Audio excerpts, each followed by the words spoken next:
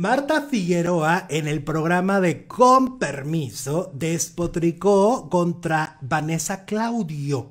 Ya ves que Vanessa Claudio recientemente se agregó al cuadro de conductores de Suelta la Sopa, ¿no?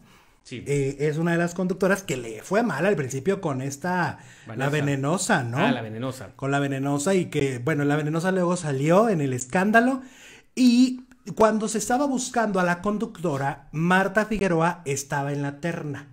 Yo te voy a contar una cosa que muy pocos saben. Marta Figueroa originalmente iba a ser la flaca también, Con el gordo. con el gordo. Ah, mira. Ajá, el con el gordo y la flaca, ella iba a ser la flaca, no Lili Estefan. Pero, pero, a ver, a ver, un momento. En, ese, en esos tiempos Marta Figueroa estaba en Ventaneando, ¿no? No, cuando se salió de Ventaneando. Y había adelgazado. Pues adelgazó después de que salió de Ventaneando. No sé qué tan rápido, pero según yo recuerdo que sí bajó rápido de peso. Entonces, cuando empezó el gordo y la flaca, Marta Figueroa estaba flaca. Ajá, y se llevaba muy bien con el gordo de Molina. El gordo de Molina y Marta son amigos desde hace muchos años. Entonces ellos iban a ser los conductores.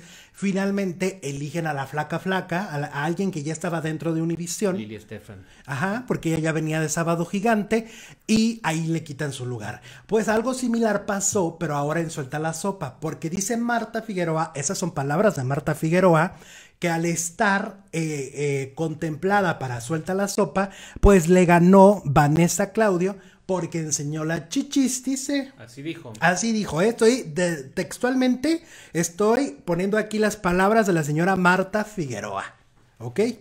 De que eh, por la chichis se quedó la otra conductora. Eso fue lo que dijo. Lo cual me parece muy despectivo, punto número uno. Muy ardido, punto número dos, ¿no? O sea, Pero ¿cuál ardido? Pues si ahora la tenemos con Origel. ¿a quién? A Marta. Pues sí, ahí sigue. Si no, si no, si se hubiera ido a suelta la sopa, nos tendríamos. Es que según decían ahí, mira, es que todo empezó porque dijo, ay, este, me quiero ir a vivir a Miami, decía Marta Figueroa, me encantaría irme a vivir a Miami, y ahí empezó a surgir el tema. O sea, si está ardida, quiere ganar en dólares y se quiere ir a Miami. La próxima vez que quieras entrar a un eh, programa de espectáculos, finge un secuestro. ¿Eh? Y tienes el- la entrada garantizada. Ay, Por lo de Aileen Mujica dices. Pues ya es que fingió que la habían secuestrado y ahorita dónde está. Mm, Pues sí. Ahora, realmente el lugar sí creo que por experiencia le tocaba más a Marta. Pues por estar tantos años eh, picando piedra en el medio, ¿no? A mí cuando dijeron que Vanessa era la conductora, yo dije, ¿como por?